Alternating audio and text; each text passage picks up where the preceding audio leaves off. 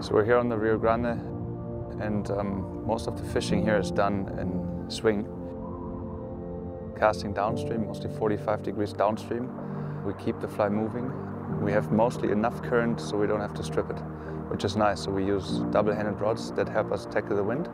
But most of the time the wind actually helps us so because the river flows from west to east and so does the wind and uh, we can mostly in 85% of the pools use the wind to our advantage. It helps us bring the fly in the right direction about 45 degrees downstream of where we are casting. That way we get a nice swing so we fish an angle to the fish.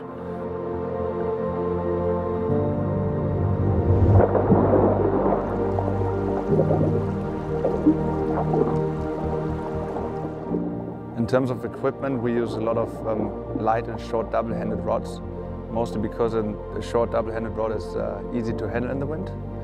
It's easier to fish a smaller pool because a lot of these pools are actually fairly narrow. It's a lot easier to make just one cast with the water instead of double hauling a single hand all day, which is very exhausting. But we do use single handers a lot in the tributary, the Rio Menendez, which is quite nice to do. It's a completely different river, and a lot of times it's a saving grace to a blown out or a too shallow main river.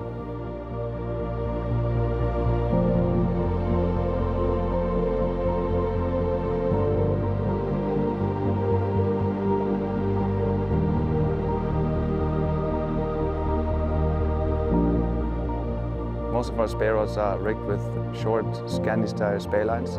That helps us to present the fly in you know, conditions where it's not too windy, smoothly and without too much uh, distortion on the water. But in conditions when we have a lot of wind um, or when we have to cast heavy flies, heavy tips, we use Skagit heads. Short Skagit heads that help us deliver heavy fly on cold days or on murky water days on a little heavier rod. So the light equipment is mostly seven weights, short 12, 12 and a half with seven weights, and our heavier equipment is eight or even nine weights and 12 and a half to 13 and a half feet. For single-handed rods, we use short and aggressive weight forward lines or short shooting head systems with replaceable tips or intermediate lines or floating lines depending on the water clarity or conditions. If you're new to spey casting and you want to prepare for fishing on the Rio Grande, you would have to learn four simple casts. You will have to do a double spey from the right side and from the left side, and you will have to do a single spey from the right and the left side. If you can do those forecasts, you will be able to cover every single pool in the river.